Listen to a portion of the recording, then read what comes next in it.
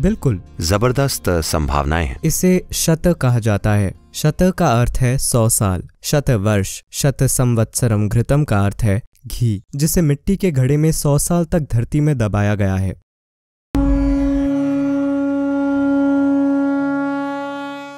इस समय केरल में लोग दवा कर रहे हैं और हम नहीं जानते कि इसमें कितनी सच्चाई है पर मैं जानता हूँ कि इसमें कुछ सच्चाई है।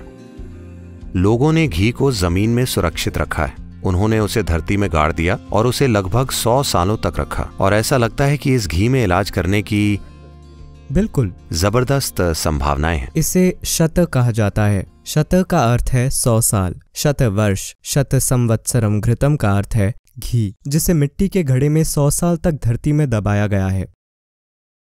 क्योंकि जब घी मिट्टी में सौ साल तक रहता है तो उतने लंबे समय के बाद घी में कुछ आणविक बदलाव होते हैं। और वह घी ओजस से भरपूर होता है। वह तेजस और प्राण से भरपूर होता है। क्योंकि आखिरकार वात दोष का विशुद्ध सार प्राण है। पित्त का विशुद्ध सार तेजस है और कफ का ओजस है और कोशिकीय स्तर पर ओजस, तेजस, प्राण, ये कोशिकीय मेटाबॉलिज्म क्रिया, कोशिकीय बुद्धिमानी और संचार के प्रवाह को संभालते हैं। प्राण संचार का प्रवाह है तो कोशिकाओं के स्तर पर ओजस, तेजस प्राण, ये कोशिकाओं के जीवन को चलाते हैं और उसे बेहतर बनाते हैं। इसलिए सौ साल पुराना घी, पुराण घृतम एक्जिमा त्वचा रोगों के लिए सबसे अच्छी दवा है।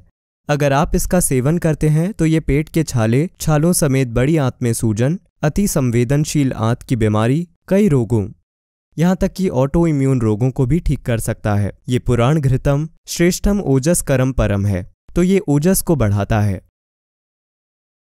तो ओजस तेजस प्राण। ये तीन महत्वपूर्ण अंश हैं। ये कोशिका के जीवन को बनाए रखते हैं। कोशिका ज़्यादा लंबे समय तक जीवित रह सकती है।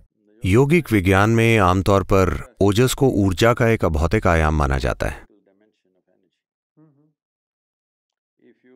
क्योंकि हर भौतिक चीज़ अभौतिक से ही आई है।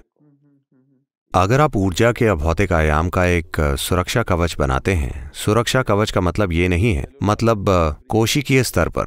हर कोशिका का थोड़ा बहुत अभौतिक आयाम हो, यानी उसके चारों ओर एक घेरा हो, वो कोशिका खुद को इतनी तेज़ी से स्वस्थ कर लेगी, जिसे जादुई माना जाता है। किसी भी चीज़ से, किसी चोट या किसी बीमारी से आप बहुत जल्दी ठीक हो जाएँगे। सबसे पहले तो आप इतने बीमार ही नहीं होंगे। कि आपको बीमार कहा जाए। ये इससे तय होता है कि आपकी जीवन शैली में कितनी अशांति है. अशांति से मेरा मतलब है आप एक अच्छा शांतिपूर्ण जीवन जी रहे हैं। मेरी जीवन शैली अशांत है। मैं फुल स्पीड पर मोटरसाइकिल चलाता हूँ। तो मेरा जीवन सप्ताह के सातों दिन पूरे तीन सौ पैंसठ दिन होता है।